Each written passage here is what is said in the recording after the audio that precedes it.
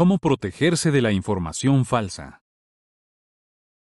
Hoy tenemos acceso a más información que nunca. Eso puede ayudarnos a cuidar nuestra salud y sentirnos más seguros. Pero cuidado, entre tanta información también puede encontrar cosas como estas. Noticias engañosas. Informes falsos. Teorías conspiratorias. Por ejemplo, durante la pandemia del COVID-19, el secretario general de las Naciones Unidas advirtió sobre una epidemia muy peligrosa de información falsa.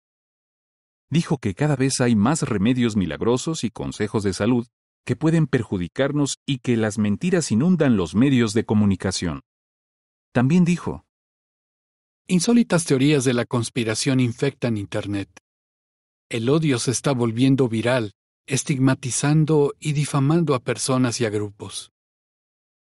Por supuesto, siempre ha habido información falsa, pero la Biblia dijo que en nuestro tiempo los malvados y los impostores irían de mal en peor, engañando y siendo engañados. Segunda Timoteo 3, 1 y 13. Y ahora con Internet es más fácil y rápido que nunca recibir y hasta esparcir sin querer noticias falsas. Por eso nuestro correo electrónico, nuestras redes sociales y las alertas que recibimos pueden llenarse de datos manipulados y verdades a medias. ¿Qué puede hacer para protegerse de la información falsa y de las teorías conspiratorias? Aquí encontrará algunos consejos de la Biblia que le pueden servir. No crea todo lo que ve y todo lo que oye. Lo que dice la Biblia. El ingenuo se cree todo lo que le dicen, pero el prudente mide bien todos sus pasos. Proverbios 14:15 Si no tiene cuidado, lo pueden engañar fácilmente. Por ejemplo, piense en los videos cortos o en las imágenes con mensajes que se vuelven tan populares en Internet, especialmente en las redes sociales. Estamos hablando de lo que la gente llama memes, que se crean para hacer reír. Pero las imágenes y los videos pueden manipularse o sacarse de contexto fácilmente. Hasta se pueden hacer videos de personas reales haciendo o diciendo cosas que nunca hicieron ni dijeron. La mayor parte de la información falsa que los investigadores encuentran en las plataformas sociales incluye contenidos como los memes, que manipulan el contexto. Axios Media. Pregúntese, ¿es una noticia real o solo un meme? Analice la fuente y el contenido.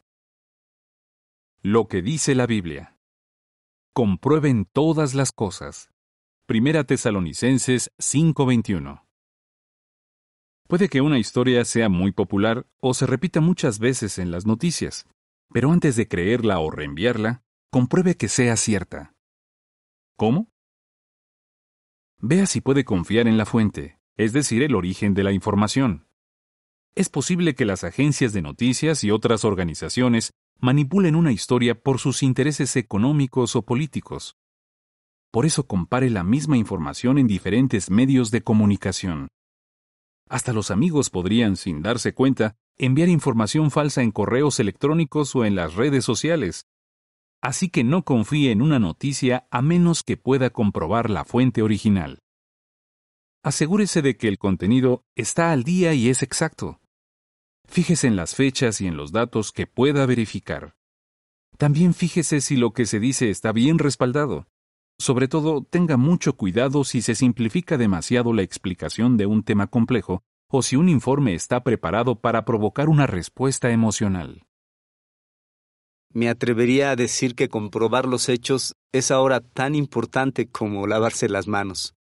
Sridhar Dharmapuri, oficial superior de Inocuidad Alimentaria y Nutrición de las Naciones Unidas. Pregúntese, ¿presenta esta noticia una opinión como si fuera un hecho probado? ¿Da solo una versión de la historia? Déjese guiar por los hechos, no por sus preferencias personales. Lo que dice la Biblia. El que confía en su propio corazón es un insensato. Proverbios 28-26. La gente normalmente confía en la información que apoya lo que ellos quieren creer. Y por otro lado, Las compañías de Internet se basan en los historiales de búsqueda y las preferencias personales para mandar noticias y alertas. Pero lo que nos gusta oír no siempre es lo que necesitamos oír.